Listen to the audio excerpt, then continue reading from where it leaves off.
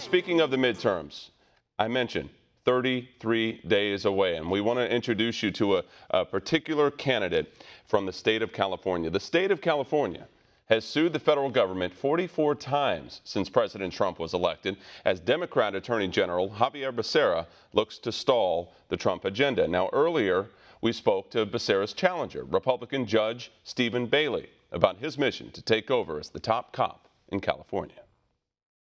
All right, Judge Steven Bailey, thanks for being here. My pleasure. Uh, we are just 33 days uh, from Election Day uh, in, uh, well, all over the country. The midterms are coming up November 6th. Uh, you're challenging the current Attorney General, the Democrat, Xavier Becerra.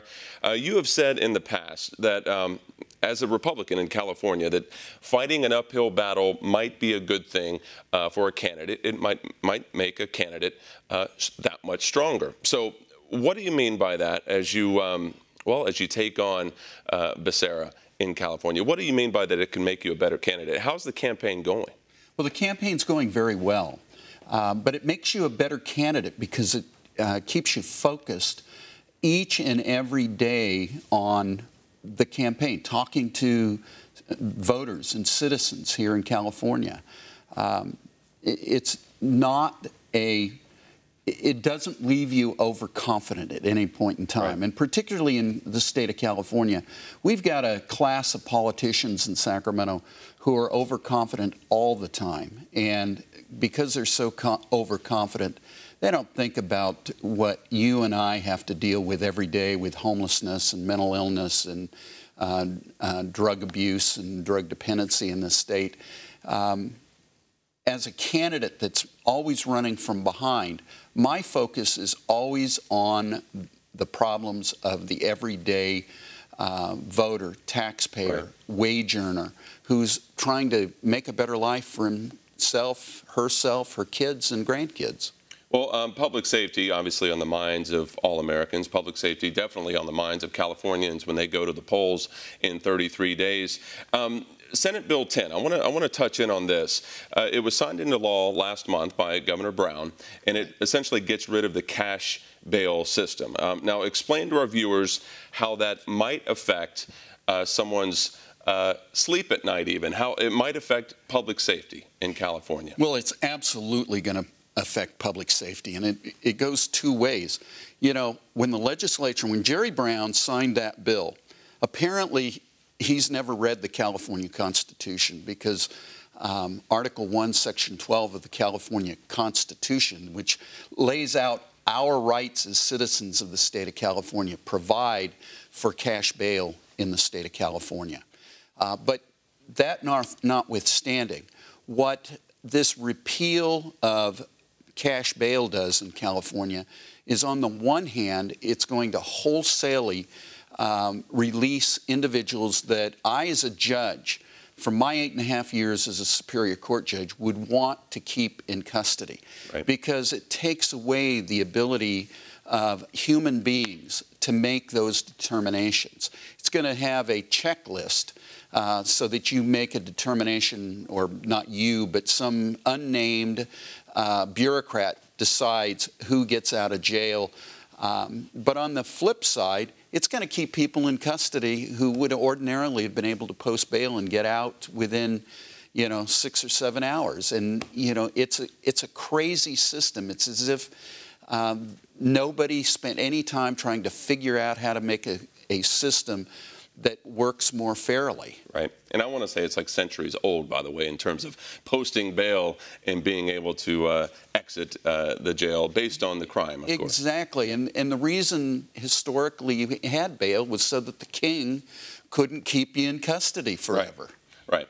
Uh, well, I want to switch gears. Uh, I know that you know public safety again uh, at the forefront of a lot of folks' minds, but also at the forefront of a lot of folks' minds is border security. And when it comes to the Trump administration's efforts with border security, talk about the effect that Attorney General uh, Xavier Becerra, a very outspoken Democrat, of course, a longtime, lifetime Democrat, how is he stunting that process? How is he how is he halting uh, the Trump administration's efforts as they attempt to secure the border specifically between California and Mexico? Yeah, I mean it's it's craziness. What uh, Brown, and the legislature have done is literally make California uh, less safe.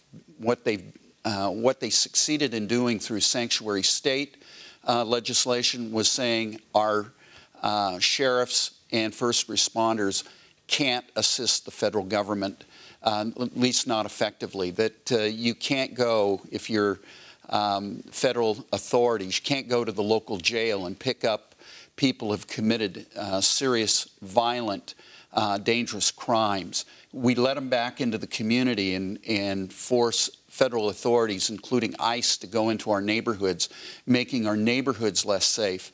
That's crazy. I mean, where would you want to pick up a law, a, a, a criminal? But right. at the jail, if you have them at the jail, it just makes perfect sense. That's where you get the person.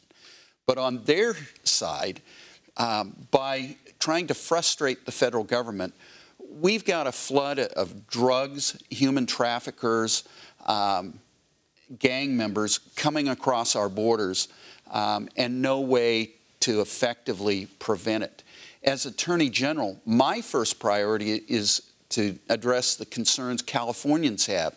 They want safe neighborhoods. They want their kids and their grandkids to be protected. Right. Um, and, you know, that sometimes requires us as state authorities to work closely with the federal government.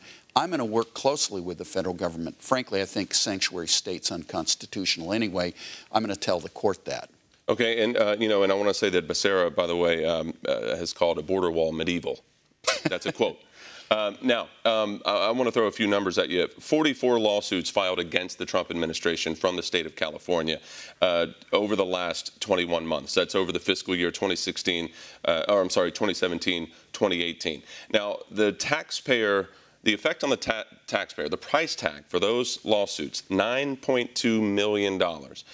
That's up from $2.8 million before Trump came into office. That's a $7 million uh, difference on the taxpayer. So, what are your thoughts now? Because, uh, you know, I had this quote here from Becerra. He says the potential harm California faces from the administration's actions, both economically and socially, far outweighs the cost to taxpayers. What are your thoughts there, as think, Californians already pay a lot to exist? You know? Yeah, I think his statement is absolutely ridiculous. Quite frankly, uh, as a judge and quite and as a practicing lawyer in our courts for some 18 and a half years prior to taking the bench, I know that litigation is your last resort, not your first resort. And I'm not suggesting the federal government does everything right and California ought to uh, protect its citizens and its economy, um, the environment. I, I fully favor being aggressive against the federal government when it is appropriate. But things like suing on the border wall, for example, mm-hmm. is borderline frivolous. Why? Because Congress had already exempted that wall from the actual litigation that the Attorney General's in, involved in. What was so crazy is that um, a federal judge here in San Diego, one that uh, President Trump had insulted, mm-hmm. he couldn't even convince that judge right. that the uh, border wall ought to be stopped. Right. And when you can't um, convince a judge uh, at the beginning of a case, that's sending a pretty clear indication uh, that the rest of your case is hopeless. And you know, just spending money, just litigating because there's a, a tweet out of Washington, right. makes no sense for the citizens of California. Quite frankly, when I'm Attorney General, if there's an issue of such magnitude that it requires potential litigation, I'm going to go back to Washington and sit down with the federal authorities first and see if we can't negotiate out a, re- a fair resolution.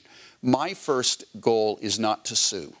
All right. I want to get uh, two more quick ones here. I want to get your thoughts on the Supreme Court nominee, uh, Judge Brett Kavanaugh. Of course, um, of course, he's currently or used to sit on the second highest court in the country there in D.C. He's fighting to be on the highest court in the nation.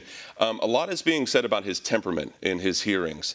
Uh, they're moving away from these sexual assault allegations, it seems, and moving more toward his temperament during the hearings. What temperament does a judge need to have as a, as a judge, as, as a retired judge? What does the temperament need to be, and should he be judged himself on that? Well, eh, he shouldn't be judged on his, quote, temperament in a congressional hearing. He served for 12 years on the second highest court in the country, the appellate district, circuit district of Washington. Uh, no one during that 12 years has ever complained about his temperament on the bench.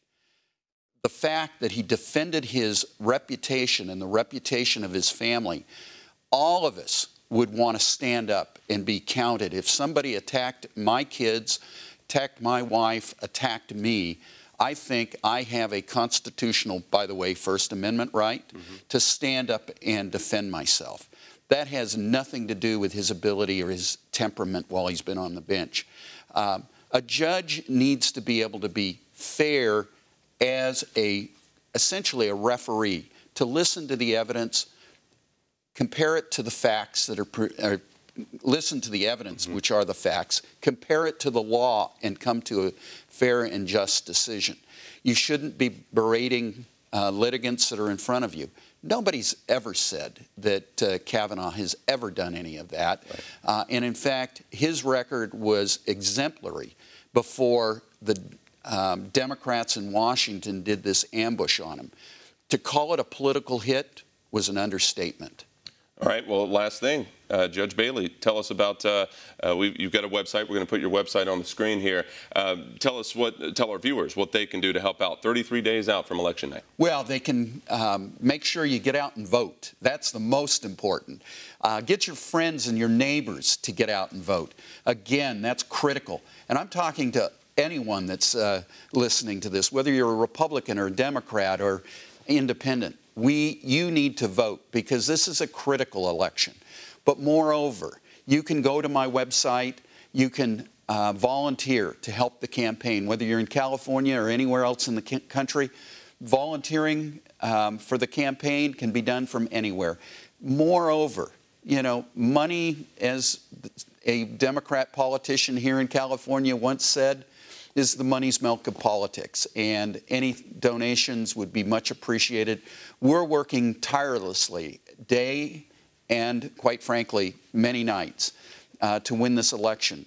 California deserves a, an attorney general whose focus is on California, and that's the type of attorney general that I'm going to be when I'm elected on uh, November 6th.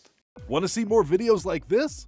Click on the link below and subscribe to One America News on YouTube. And call your cable provider and kindly demand that One American News is added to your lineup. Call and subscribe today.